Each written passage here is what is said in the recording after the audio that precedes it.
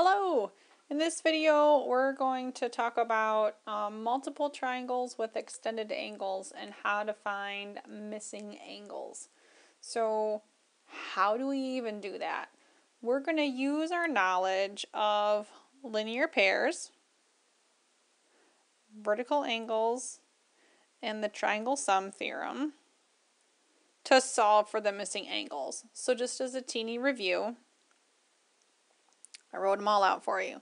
So linear pairs sum to 180 degrees. That means I have a straight line and I have a ray or a segment or something that's going to cut my line somehow and make two different angles so that these two angles here, should make them different colors because they'll most likely be different angle measurements, will add up to 180 degrees because angles that make a straight line add up to 180 degrees.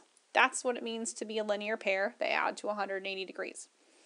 The next thing we know is that all angles in a triangle add to 180 degrees, so we're going to use that fact also.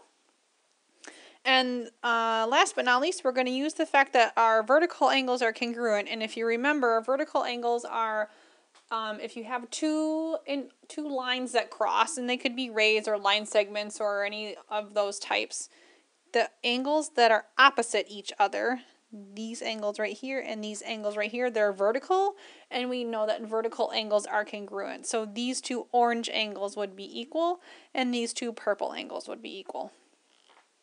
So the tip that I have for you when you're doing these kinds of problems is you want to find what you know first. So if first you happen to see that you could find an angle using the fact that there's vertical angles, write down what you know. Write down what you know. If you, oh, first I have to find this missing angle in a triangle, I can find that one first. As long as you write down what you know, it will lead you to how to find the missing thing or what you're supposed to be finding because it might not always be obvious to you. So write down what you know and then use what you found to find what you're supposed to be finding. Hopefully that helps you. So here's my first example. And you always want to make sure that you're writing your math down on some paper. So literally get out a notebook, get a piece of paper, get a pencil, use a pencil, don't use a pen, because if you make a mistake, you can erase it. And if you cross it off, it can get sloppy and you can get confused. So write down what you know, literally on a piece of paper, so you can write in all your angles. Okay, so I'm looking at here in this problem and I want to see, all right, what do I know? First thing that happens to jump out at me is, I'm going to zoom this in here, and I like to draw all over my pictures. These two angles make a straight line. They're going to add up to 180 degrees. So I'm going to take, I'm going to do 180 minus 106. And if you have to use a calculator, that's okay. This tells me that this angle right here is equal to 74. So I'm going to write 74. How I figured that out. Okay. Well, eventually I need to use the fact that that is a triangle to find my missing value, but I don't have that other piece of information. So what else do I see? Okay, so we talked about we're using what we can see in here. Um, these two angles do not add up to a straight line, do not make a straight line. But I, ooh, I notice over here that here I have some vertical angles. So this angle and this angle are vertical, which means this angle also is 32 because my vertical angles are equal. Oh, okay, now I see here in this triangle that I can find my missing angle. I'm going to call this, I'm going to call this y because I already have an x. So over here, I'm going to say that 31 plus 32 plus y equal 180. I'm going to combine together my like terms. 31 plus 32 gives me 63. And I have to subtract 63 from both sides. So I get 180 minus 63 gives me 117. Okay, so this angle right here is 117. Oh, now look at this. These two angles I see make a straight line. So I can find this guy by saying 180 minus 117. This is equal to 63. And hey, look at now I can actually use that green triangle that I knew I had to use eventually to find out what x is. So up here, oh, whoops. So up here, I'm going to say I know that 74 plus 63 plus x is equal to 180. I'm going to combine together my like terms. 74 plus 63 is equal to 137 plus x is 180. I have to subtract 137 from both sides and I get x is equal to 43. So my final answer is right here, or x is equal to 43. Okay, let's do another one. Okay, this one I only have one triangle. Um, okay, so what do I notice? I see some vertical angles. So I got this angle right here, 53 and 53 and 91 and 91. Well, let's see. And I know I have to use this triangle. That's going to add up to 180.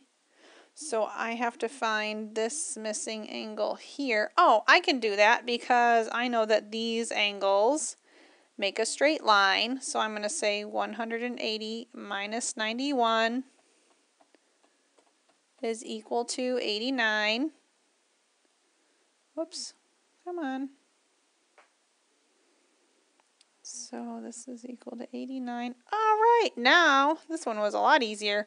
I can use the fact that I know all my angles in a triangle add to 180. So down here I can say that 53 plus 89 plus x. Now does it matter the order that I write them in? Like what if you wrote 53 plus x plus 89? Does that work? Sure. As long as all the angles add up to 180 degrees, it doesn't matter the order that you write them in. Okay, so 53 plus 89, I'm going to combine together my like terms, gives me 142 plus x is 180. And I have to get x on the side by itself, so I'm going to subtract 142 from both sides. So I get 180 minus 142 is going to give me x is equal to 38. Well, that seemed like a lot less work than the last one.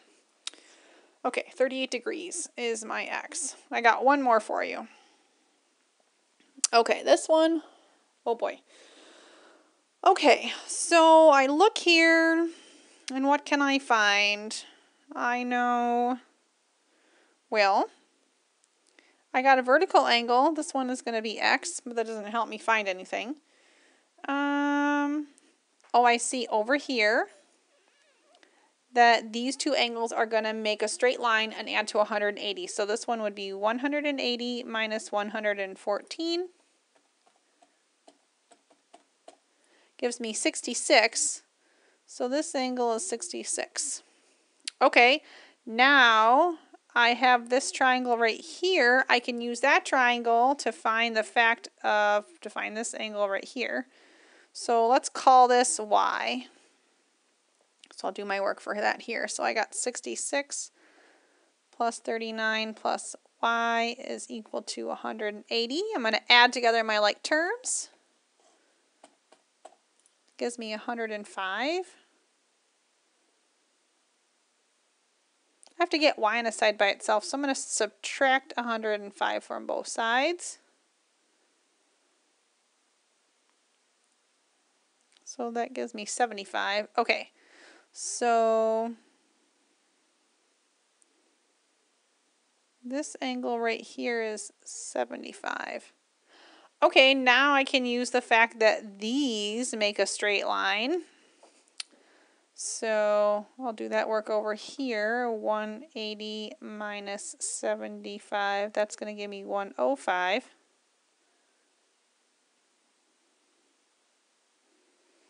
Perfect. All right, and now here's a triangle here. So, oh, it can help me find x. So I'm going to come do my work for that over here. So 37 plus 105 plus x is equal to 180. I'm going to combine together my like terms. 37 plus 105 is equal to 142. Now I have to get x on the side by itself, so to do that, I have to move this 142 or subtract 142 from both sides. So that gives me 180 minus 142. Whoops. 180 minus 142 is equal to 38. So x is equal to 38 degrees. So you can see with each one of these problems, I started kind of in a different spot. It was just what I happened to see first. Did I see a vertical angle first? Did I see a linear pair first? Did I see a triangle first that allowed me to find a missing angle? So just start finding one and then you'll start noticing, oh, well, with that one, now I can find this one. And with that one, now I can find this one. So find what you know, and then it will lead you to what you're supposed to find. Let me know if you have any questions. Good luck.